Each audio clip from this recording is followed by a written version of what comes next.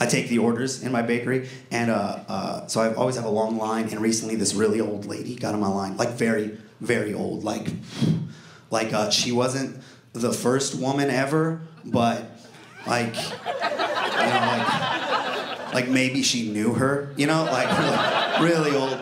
And uh, so she gets in my line, and she's like, "Excuse me, can I have?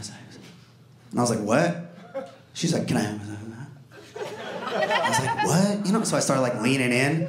I get leaning, I'm getting closer and closer. And so she starts leaning, she's getting closer and closer. And I'm like, what? She coughed in my mouth. Like, but, but like, it's, yeah, gross, but also suspiciously accurate shot. For someone that old, pretty good shot. Uh, a little suspicious. Um, and then she's like, yeah, can I have it? I'm like, oh, we're not going back to your order. this, this is a different relationship now, all right? We're not the same people we were 10 seconds ago, okay? You don't get to cough some 3,000 year old Egyptian curse into my mouth and then start talking to me about birthday cake, all right? That's not how this is gonna work, all right? Saw scarab come out of there. You kidding me? What's your game, lady? You're gonna start getting all young again all of a sudden, and I start getting real old. I gotta, real old. I gotta find a young person and cough into their mouth. I'm not doing it. I'm not doing it. This dies with me. This dies with me.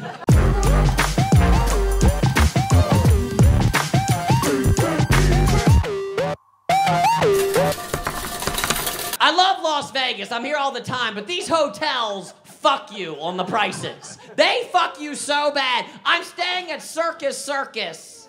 I'm not trying to brag. The shit was $70 on Priceline. I check in, this asshole behind the front desk. He's like, Well, Erik, we need to authorize your credit card an extra $65 for incidentals. I'm like, I don't know what that means. He's like, Well, that's in case you damage the room. We charge you $65. I'm like, It's only $65 to trash this room. I'll throw the fucking TV out the window. Are you serious?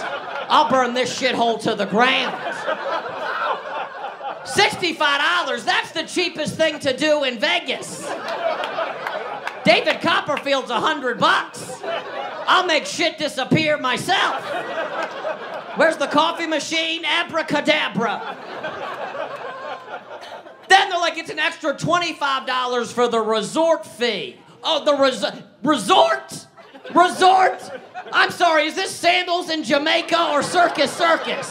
Where's the fucking beach? By the trapeze or the clown call? This is a goddamn Motel 6 with a fucking clown on the walls. What is this piece of shit resort fee? Like, oh, that's to use the phone in your room. Oh, well, thank Jesus there's a phone in my room. I don't have a cell phone. You fucking idiot. It's only 2017. I've been waiting to use the Circus Circus landline. I've been trying to call the bearded lady for months. Wait, tell her to shave and meet me at the buffet. I am so horny right now. Like, no, you can call other rooms in the hotel. I don't know anyone fucking staying at Circus Circus. You think I rented this shit out for a family reunion? We're having Nana's birthday under the big top this year.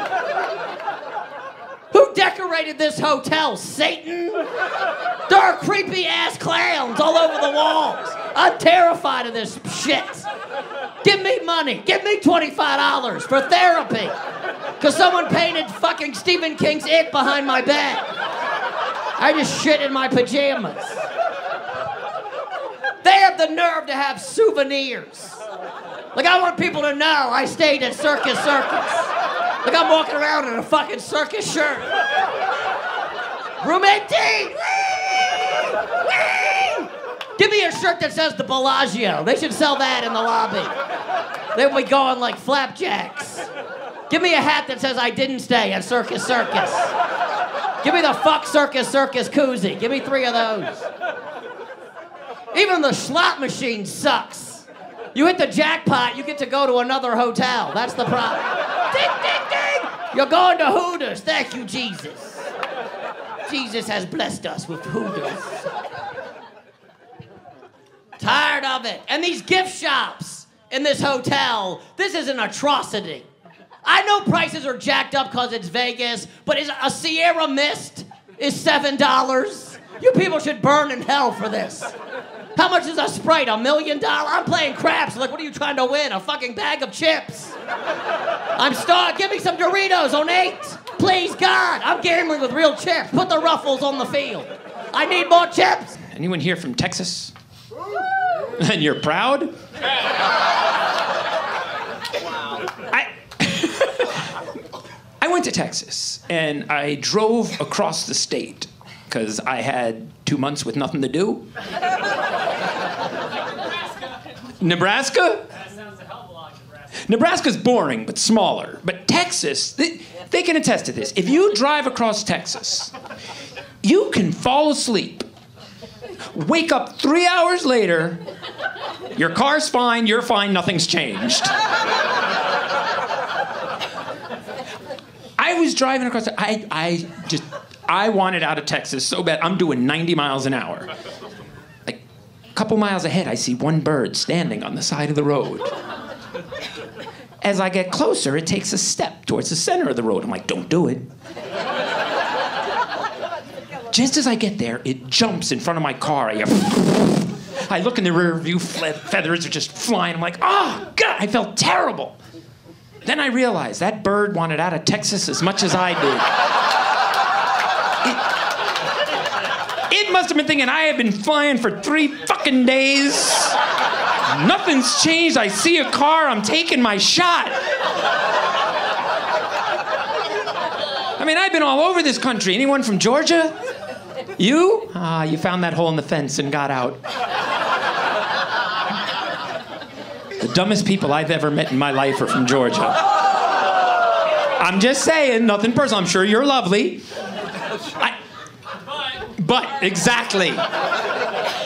Weirdest damn thing in Georgia. I got pulled over by something I'd never seen before a dwarf highway patrolman.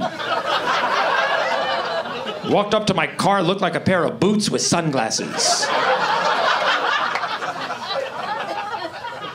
Comes up, he's like, let me see your license and registration.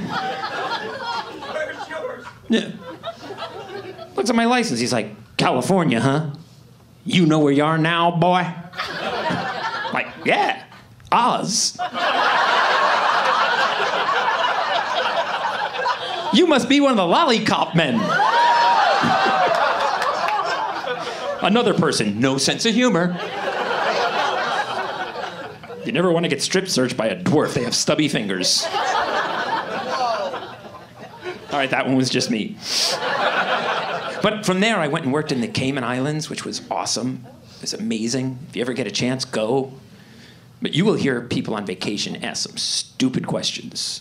I'm on the boat in the islands, and this woman looks at the guy completely seriously, says, Excuse me, but does this island go all the way to the bottom? no, we anchored here in the spring. Then this woman looks at him completely seriously and says, Now, is the moon that you see here, is that the same moon we see in the States? Her, Where are you from? Georgia.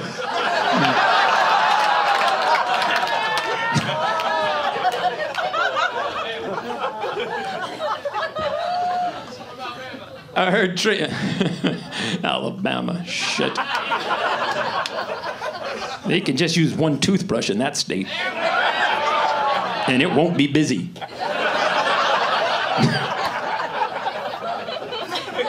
I've been in hotel rooms now for like three weeks straight. Just in random ass hotel rooms doing dumb stuff. I bought a cantaloupe.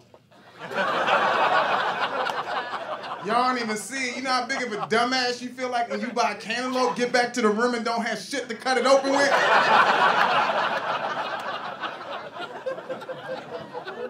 Now I can't even reheat my Chinese food in the microwave because of the metal wire at the top.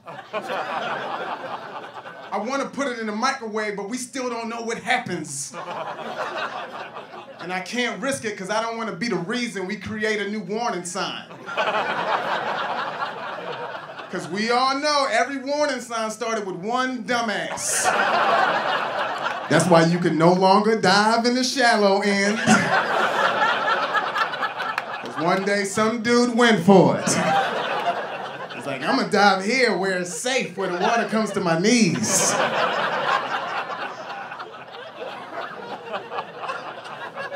even in the lobby. You guys seen the vending machine? You seen the warning sticker on the vending machine? It shows a guy with the machine like this. Because I guess the machine collapsed and murdered his ass. I wish I could have met that dude to see how bad he needed that granola bar. He must have snapped that day, like, ah! Then the machine was like, man, forget this shit.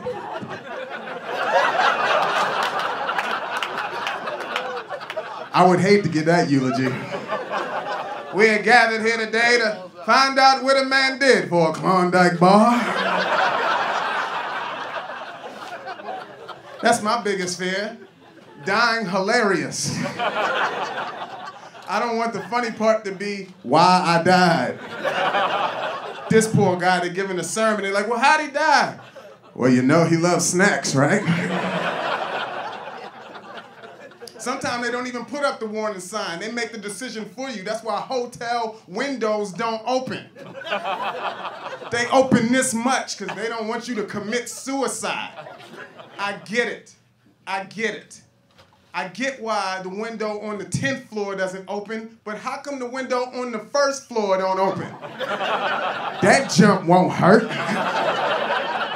Hell, after that, you might regain the will to live. I made it. God has a plan for me. A lot of gay dudes in Hollywood too, which I got no problem with. I figure the more good-looking guys who are attracted to other good-looking guys, the better shot I've got. But some of my neighbors are gay, and that kind of concerns me. Shit, what if they convert me? What? Gay guys are smooth. What if they come knocking on my door? I'm lonely, depressed far from home, out of Paxil. Come knocking like a couple of Mormon. Hello. We just like to speak to you about our lifestyle. Like you would, huh? All right, what the hell? Come on in. Starts out slow. My apartment's cleaner, then I'm dressing neater. Next thing you know, I'm sucking Peter. this would be a good time to remind you these are just jokes. Being gay is not a choice. Every people say that shit, they choose that lifestyle. You don't choose to be gay. You're born that way. Like my friend's kid is gay. He doesn't know it yet, but I do.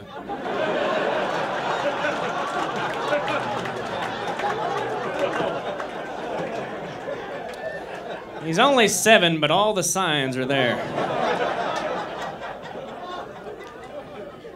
we were watching the Super Bowl, and for no reason, he goes, Yesterday, the neighbor was washing his truck with his shirt off. I was like, What? He goes, Just saying. My buddy's like, Yeah, I don't know, man. He just says that shit. comes out of nowhere. It's not from nowhere, it's from a gay place.